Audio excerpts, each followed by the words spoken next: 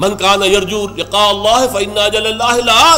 जो कोई भी अल्लाह से मुलाकात का उम्मीदवार है मुतमिन रहे, वो वक्त आकर रहेगा, तुम्हारी रब से मुलाकात होगी। बुलाकू, वो सब के सब अल्लाह के साथ मुलाकात करेंगे। ये मोहब्बत अल्लाह की।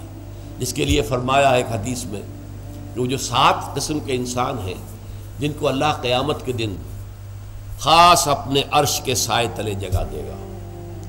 उनमें से एक वो भी है रजुल जकर अल्लाह खालियन फफादत आइना तखलीय में अलहदगी में खामोशी से जब वो बैठा हुआ था उसने अल्लाह को याद किया और अल्लाह की मोहब्बत और अल्लाह की खशियत से उसकी आँखों से आँसू बह निकले ये अल्लाह का हिजर है ये ये जो ज़िंदगी है ये अल्लाह से हमारे एक हिजर का ज़रिया पर्दा पड़ा हुआ हमारे और रब के दरमियान गैब का वहाँ पड़ा हुआ है।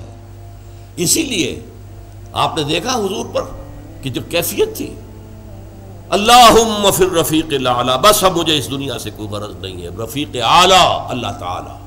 अल्लाह फिर रफ़ीक आला। अब तो बस ये जो भी, हालाँकि हुजूर के लिए तो इस दुनियावी ज़िंदगी में भी हुजूरी ही हुजूरी थी। आप फरमाते अभी तो इंदर अब भी, मैं रात गुजारता हूँ अपने रब के पास।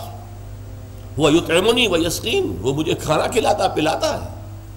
इसलिए कि जब आप रोज़े रखते थे, दो दिन का रोज़ा, तीन दिन का रोज़ा, कि शाम को इफ्तार नहीं किया, बल्कि वही रोज़ा रात में भी चल रहा है, फिर अगले दिन शुरू हो गया, वो रोज़ा चल रहा है, दो दिन, तीन दिन। जिसको सौ में विशाल कहते हैं। सहाबा को आपने सख्ती से रोक दिया, मत, हरगिज नहीं। तो जब उन्होंने कहा, हजूर, आप करते हैं, आप हमें क्यों रोक रहे हैं? फरमाया अयो को तुम में से कौन है मुझ जैसा? अभी तो इंदर रब्बी मैं तो अपने रब के पास रात गुजारता हूँ। हुआ यु तेमोनी व यस्कीन। वो मुझे खाना खिलाता है, पिलाता है। अब वो क्या खाना है, क्या पिलाना है, वो अल्लाह जाने उसका रसूल जाने। हम तो उसका तस्वुर नहीं कर सकते। तो ये मामला जो है तो अल्लाह ताला के साथ वो मोहब्बत, वो लगाव, वो ताल्लुक़ तो अगरचे ज़िंदगी में भी हुजूर का तो हजूर के और अल्लाह के दरमियान कोई हिजाब नहीं था। जैसे हिजाब हमारे वैसा तो नहीं था ना।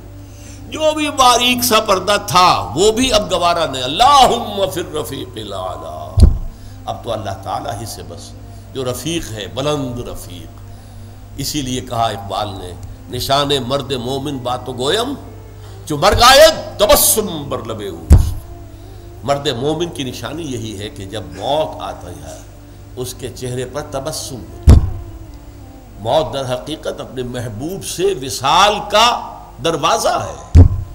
अपने महबूब से मुलाकात का दरवाज़ा है। लिहाजा मौत के खौफ का कोई सवाल पैदा नहीं होता। जो मर गायब, तबस्सुम ये लबी